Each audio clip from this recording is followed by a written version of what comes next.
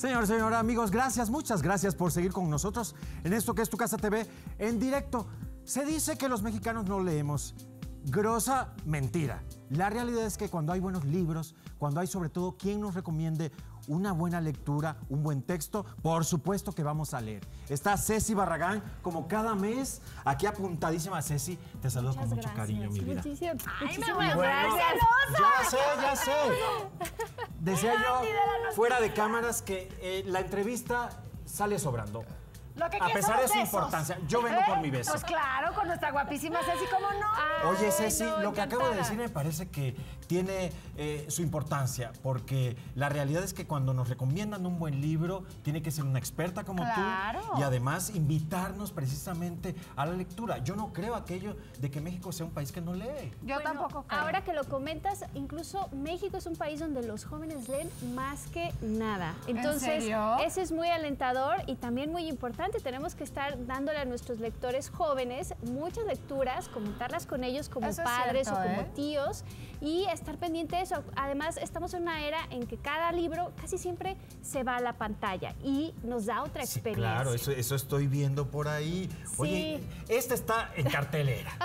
está en, el cartelera la, Este la es un- película, ¿verdad? La razón de estar contigo para todos los amantes de los de los Las de las mascotas. mascotas, que los que generan vínculos especiales y los consideran miembros de su familia, este es un libro que no se pueden perder.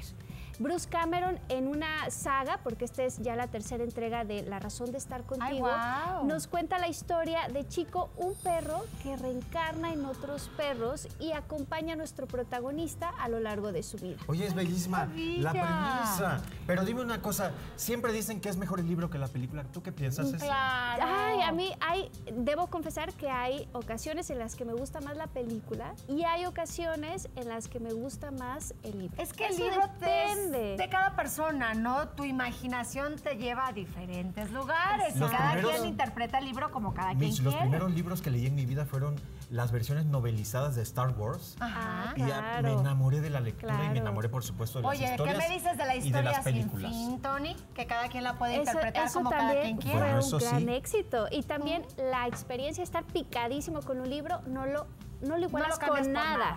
Ninguna serie, ningún juego te va a dar esa misma sensación de estar aferrado a las páginas de un libro. Oye, Ceci, acá mira, yo, yo quiero hablar particularmente de este. Porque es que son, son cosas con, eh, Tony, controvertidas. Tony. es que Ay, son, Dios mío, ya es saben, que yo vengo... el Dandy de la noticia y quieres ser el Christian Grey de la noticia. Sa- ¿sabes una Dios cosa? mío, hemos creado un monstruo. Mira, eh, 50 sombras liberadas o las 50 o 100 mil sombras de Grey.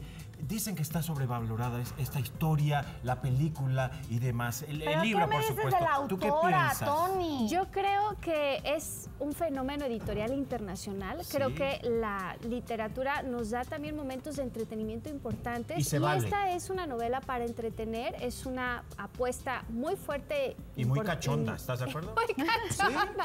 ¿Qué Exacto. ¿Es una saga este Bueno, con E.L. James? eh, E.L. James ya terminó la saga de 50 Ok, sombras de Grey. ¿y Eso ahora? ya quedó. No dio Aquí pa' más. no- pues dio para mucho, pero ya ahí se es quedó. que está ¿no? creando expectativa y ahora nos va a presentar una nueva Y historia. entonces, Y yo- yo- Ahora- Yo, no leí los libros, debo confesarlo, pero sí vi una de las películas. Dios mío, ¿Y ¿y, qué te entonces pareció? No, es salí- salí Manda este- WhatsApp, salí- manda WhatsApp, dame eso que es del público, Tony, manda WhatsApp.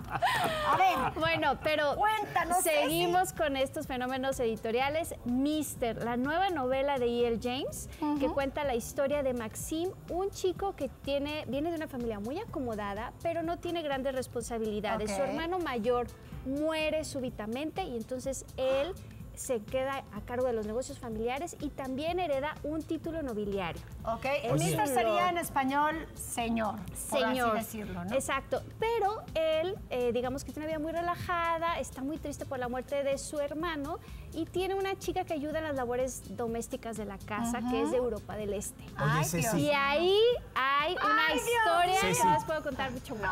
No, por favor, ya no cuentes más.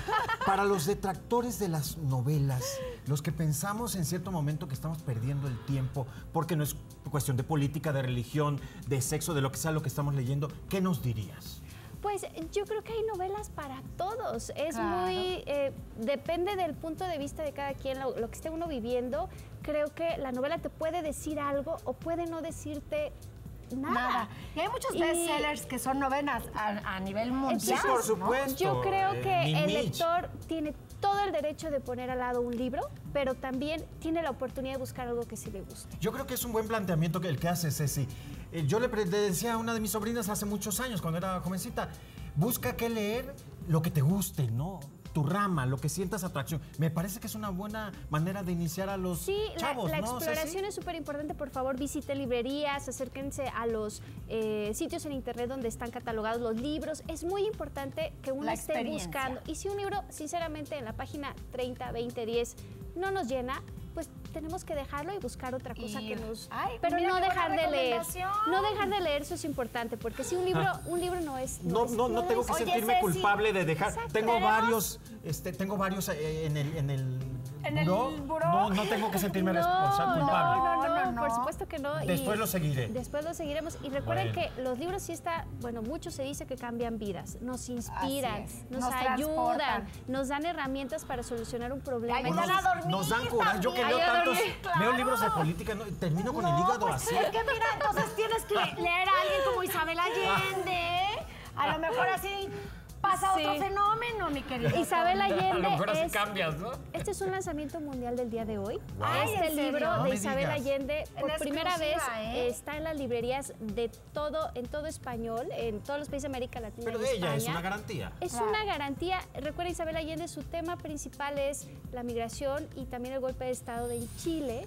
Entonces, nuestros protagonistas urren de la Wow. Guerra Civil Española en una historia real, porque en esa época Pablo Neruda rentó un barco para transportar a algunos españoles exiliados y llevarlos a Chile. Oye, esta, esta historia sí me agrada. Este, Ya ves, te dije que no hay que dejar de No, intentarlo. no está Ceci, y como no yo voy a empezar a leer Exacto. este. Espérame. Y bueno, A ver si así. después de Isabel Allende está la opción de Jojo Moyes, que también ha, ha tenido en la pantalla la primera entrega de sus libros, La Última Carta, y es una chica que está buscando inspirarse para escribir una historia. Y encuentra las cartas de Jennifer, que vivió en los 60, sufrió un accidente, no recuerda nada y solo tiene la carta de su amante en el que le pide irse a vivir con ella. Entonces, en, el- en la época actual, Ellie está viviendo estas cartas, está viendo qué historia, hacia dónde la lleva, y es una historia que va de los 60 a la actualidad, llena de intriga, de amor, de decisiones. Oye, ese sí también se me No, pues ya- este. ya Pues ya fírmame el también. ya, del- este, fírmame. pero, pero ¿nos tienes regalos, Ceci? Claro, todos estos libros para los que nos llamen y la película también de 50 sombras. Saca el celular al WhatsApp. ¡Vamos! ¡Nos vamos a papachar! ¡Nos vamos a consentir al 55 19 96 6210!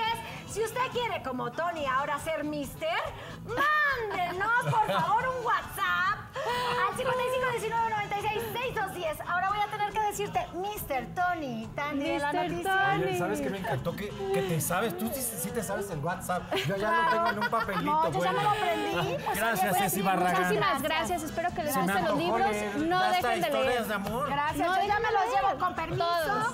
Ya Esto es tu casa voy. TV en directo. Volvemos después de una pausa.